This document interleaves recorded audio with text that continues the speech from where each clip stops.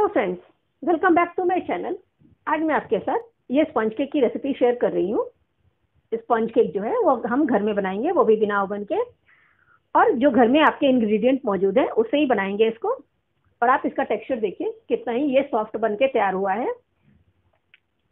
बिल्कुल एकदम बाज़ार जैसा बन के तैयार हुआ है, इसका टेक्स्चर देखिए। तो ये बहुत ही एक अच्छा स्नैक्स है टी टाइम के लिए। आप भी बनाइए और एंजॉय करिए। तो बनाने के लिए आपको आगे वीडियो देखना पड़ेगा, जिसमें कि मैंने बताया है कि किस तरह से इसका मेज़रमेंट लेना है और क्या प्रोसीजर मैंने फॉलो किया है। तो चलिए फटाफट से इस स्पॉन्जी केक को बना लेते हैं। केक को हम ओवन में नहीं बनाएँगे, भगोने में बनाएँगे तो उसके लिए मैंने यहाँ पे ये भगोने को गर्म होने के लिए रख दिया है। जो भगोना लेना है, वो साइज़ में थोड़ा बड़ा होना चाहिए और उसकी जो तली हो, वो वो थोड़ी सी मोटी रहेगी तो अच्छा रहेगा। जिससे कि आपका केक जो होगा वो धीमे धीमे बेक होगा और जलेगा नहीं। और इसमें मैंने ये नमक लिया है। लगभग दो कप नमक होगा, उसको मैंने ऐसे इस तरह से स्प्रेड कर दिया है, जिससे कि केक आपका जो है वो इवनली हीट होगा। अगर आपने नमक नहीं डाला तो भी चलेगा। और उसके बाद इस तरह से एक वायर रैक जो होगा, उसको इसमें रख देना है। और इसको हम 15 मिनट के लिए प्री हीट होने के लिए रख देंगे। इस तरह से इसको ढक के धीमी आँच पे गर्म होने के लिए रख देंगे। तब तक अपना केक का बैटर तैयार करेंगे। केक को बेक करने के लिए सबसे पहले सारी चीज़ें जो हैं वो इकट्ठी तैयार रहनी चाहिए। तो उसके लिए सबसे पहले ये केक टीन को तैयार कर लेंगे। इसमें थोड़ा सा ऑयल लेके इसको इस तरह से स्प्रेड कर देंगे चारों तरफ़।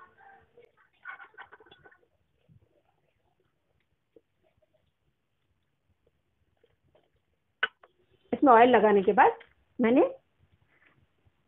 ये बटर पेपर को इसके बेस के साइज़ का ही कट कर लिया है। वो इसमें फिक्स कर देंगे, जिससे कि केक निकालने में जो है वो बहुत आसानी होगी।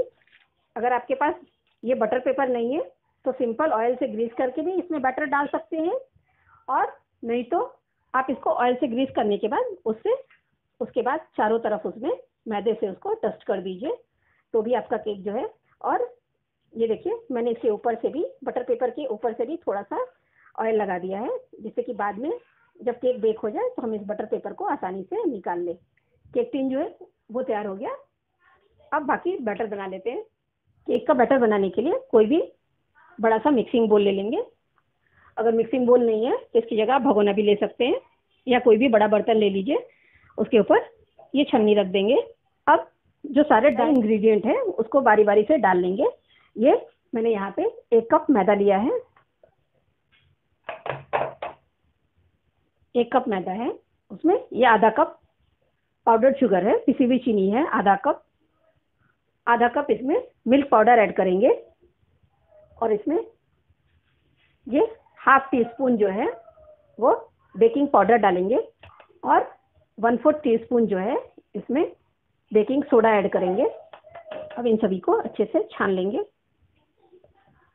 इसको छानने से क्या होगा कि जो भी इम्प्योरिटीज़ हैं या जो भी लम्स हैं, वो छन जाएँगे और हमारा जो है सॉफ्ट मैदा बाहर निकल जाएगा तो इसको इस तरह से छान लेंगे। सारे सूखे इंग्रेडिएंट को मैंने अच्छे से छान लिया है। अब इसको अच्छे से एक बार मिक्स कर लेंगे। अभी इसमें ये 25 एम ऑयल लिया है मैंने, वो ऐड कर देंगे। सभी चीज़ों का प्रपोर्शन आप अच्छे से लीजिए। फिर ये केक जो है, वो बहुत ही अच्छा और बहुत ही स्पंजी बन के तैयार हो जाएगा। ये बहुत ही सिंपल केक है, बहुत आसानी से बन जाता है। इसके बाद अब थोड़ा थोड़ा दूध डाल के इसको बैटर बना लेना है। दूध आप पहले थोड़ा थोड़ा करके ही ऐड करिए। मैंने इसमें आधा गिलास दूध लिया था। मैं इसको थोड़ा थोड़ा करके ऐड कर रही हूँ। थोड़ा दूध और जाएगा। पोरिंग कंसिस्टेंसी का बैटर बनाना है अपने को, जिससे कि आसानी से इस तरह से ये गिरना शुरू हो जाए। और अच्छे से उसको फेंट लेना है। और ये बहुत ही जल्दी फिट भी जाता है। इसको ज़्यादा कुछ मेहनत करने की ज़रूरत नहीं है। बहुत ही सिंपल केक है ये। अब इसमें तीन चार बूंदी जो है, वो वनीला एसेंस की डाल देंगे। और फिर अच्छे से एक बार मिक्स कर लेंगे। थोड़ा सा दूध और ऐड करेंगे।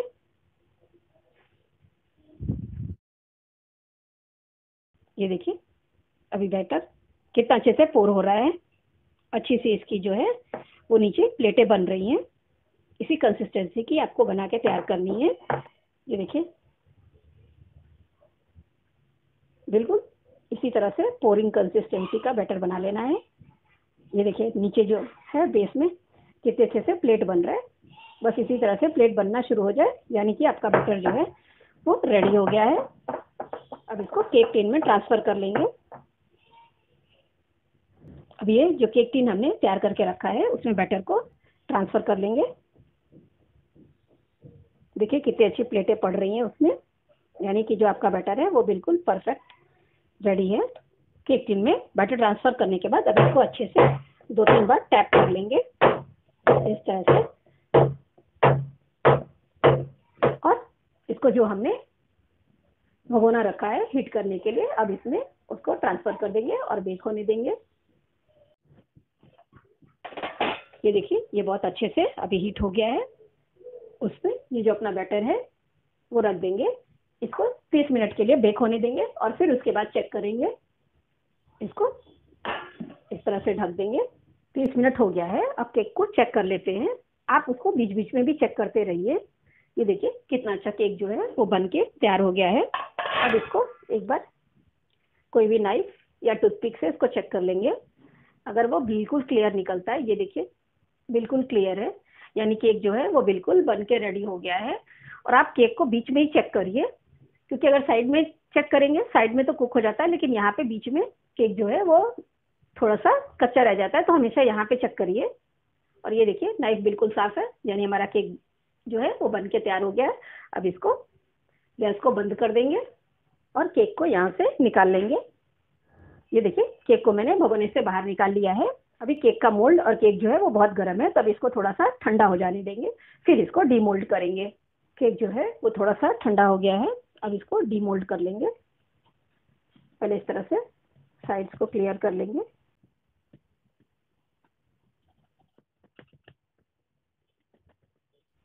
अब उसके बाद कोई भी इस तरह का प्लेट लेंगे और उस पर रख के इसको इस तरह से उलट लेंगे और इस तरह से ठुकते हुए इसको बाहर निकाल लेंगे। देखिए, कितने अच्छे से ये निकल के बाहर आ गया है। अब जो हमने बटर पेपर लगाया था, उसको निकाल लेंगे। ये देखिए, कितनी आसानी से जो है, वो बटर पेपर निकल जा रहा है। और इस केक का स्पॉन्ज आप देखिए, कितना स्पॉन्जी बन के ये तैयार हुआ है। बहुत ही स्पॉन्जी केक बन के तैयार होता है, बहुत ही आसान है। अब इस केक को कट कर लेते हैं। कट करके देखते हैं, कैसा है ये। ये देखिए, कितना स्पॉन्जी जो है, वो केक बन के रेडी हो गया है। ये देखिए। बहुत ही स्पॉन्जी बना है ये केक। तो इस तरह से आप भी जो है, स्पॉन्ज केक बनाइए। तो देखा ना आपने, घर में केक बनाना कितना आसान है। वो भी बिना ओवन के, वो भी घर में मौजूद सारी सामग्रियों से। तो आप भी ये स्पॉन्ज केक की रेसिपी को ट्राई करिए। और अगर आपको मेरी रेसिपीज़ अच्छी लगती हो तो मेरे चैनल को सब्सक्राइब कर दीजिए, साथ में बेल बटन को भी प्रेस कर दीजिए, जिससे नई वीडियो की नोटिफिकेशन आपको मिले। थैंक्स फॉर वॉचिंग फिर मिलेंगे नेक्स्ट वीडियो में एक नई रेसिपी के साथ।